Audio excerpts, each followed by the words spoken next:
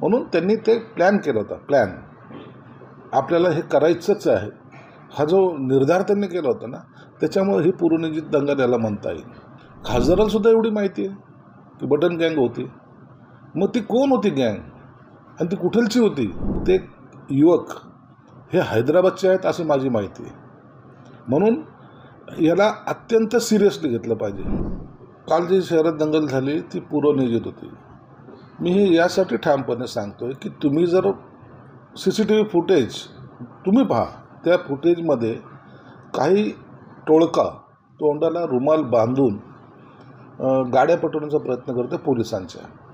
याचा अर्थ काय होतो आहे बरं सर्वांच्या तोंडाला रुमाल ॲट अ टाईम दहा मिनटात लोक घरातून रुमाल बांधून तर येत नाही.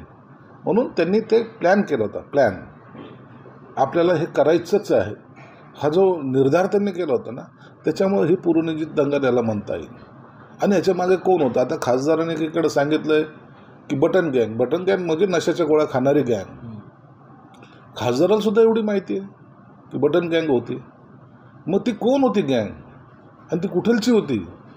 याचासुद्धा खुलासा खासदारांनी सुद्धा केला पाहिजे. आणि म्हणून हे दंगल घडवणारे किंवा घडवून आणणारे जे कोणी असेल त्याचा पोलिसांनी शोध घेतला पाहिजे. ही घटना छोटी नाही आहे या शहरामध्ये दलित असेल मुस्लिम असेल हिंदू असतील सर्व जाती धर्माचे लोक. जे चांगलं वातावरण शहरात पोषक आहे त्याला बिघडवण्याचं काम कायद्यानं करतात. मला वाटतं त्यातील बहुतेक युवक हे हैदराबादचे आहेत अशी माझी माहिती आहे. म्हणून याला अत्यंत सिरियसली घेतलं पाहिजे. ह्या कुणा समाजाविरोधातलं घटना नाही आहे तर ह्या शहराच्या विरोधात झालेली घटना आहे.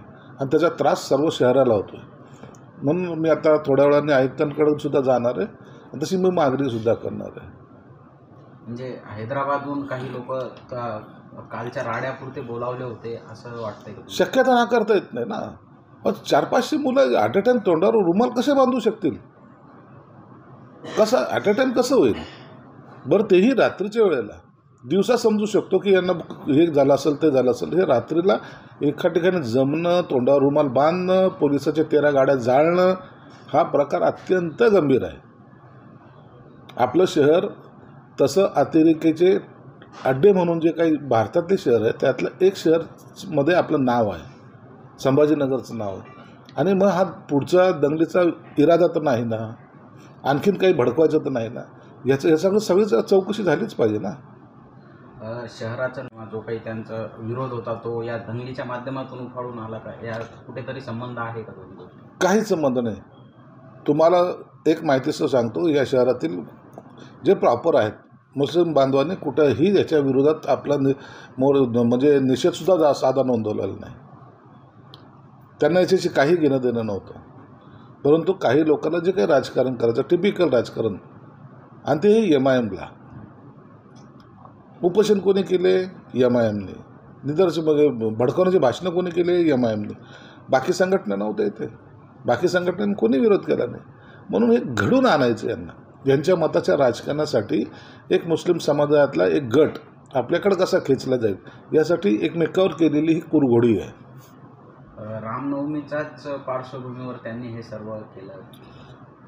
कारण हे माहिती आहे ना राम मंदिर जे पाडलं राम मंदिर जे आता उभं राहायला लागलं बाबरीजी पाडली तर तो सिक्वेन्स त्यांना साधायचा होता.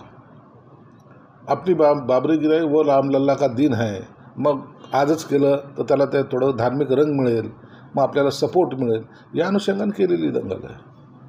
विरोधक म्हणतायत की हे सत्ताधारी आणि एम आय एमचा मिळून रचलेला हा कट शहरातील आणि राज्यातील शांतता भंग करण्यासाठी हे सगळं केलं आहे आणि राज्यात शांतता आणि सुव्यवस्था नाही गृहमंत्री पण नाही आहेत अशी टीका विरोधक करत आहेत.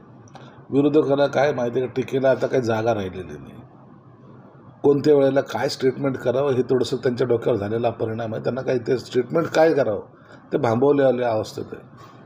दंगल कोणत्याही शहरामध्ये कोणत्याच माणसाला नको असते. दंगलीसाठी शहर नाही आहे माझ्या शहरामध्ये उद्योग यावेत माझ्या शहराची प्रगती व्हावी यासाठी प्रयत्नशील असं पाहिजे. दंगलीसाठी आम्ही प्रयत्नशील आहोत का? गृहमंत्री त्यांचं आज काल मी गृहमंत्र्यांनाही भेटलो सी मुख्यमंत्र्यांनाही भेटलो. त्यांनाही सांगितलं. त्यांचंही पूर्ण लक्ष कटाक्षाने इकडे लक्ष आहे. आणि मी आता सी पीला तर भेटणारच आहे.